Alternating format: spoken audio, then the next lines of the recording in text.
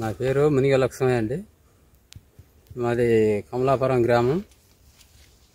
మాకు ఇంతకుముందు తులిచి తులసి సేవన చేసిందండి. వేస్తే పది క్వింటాలు అయింది. మళ్ళా తర్వాత ఈ సంవత్సరం మళ్ళీ తులసి సేవనే పెట్టుకున్నా. మంచిగా దిగుబడి వస్తుంది. కాయ కూడా లావు సైజు.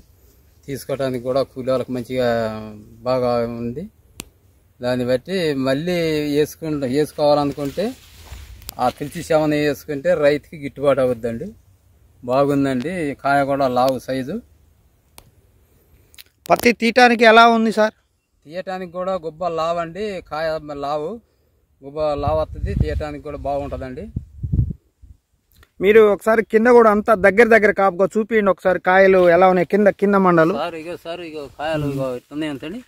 కాయ సైజు దగ్గర అండి కూలీలు తీసుకోవడానికి కూడా ఫ్రీగా ఉంటుందండి.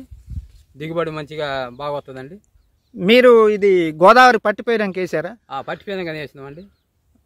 గోదావరి పట్టిపోయినాక వేసారు? అయినా కానీ చాలా బాగుందంటారు. తోట బాగుందండి బాగానే వెళ్ళేసింది బాగుందండి.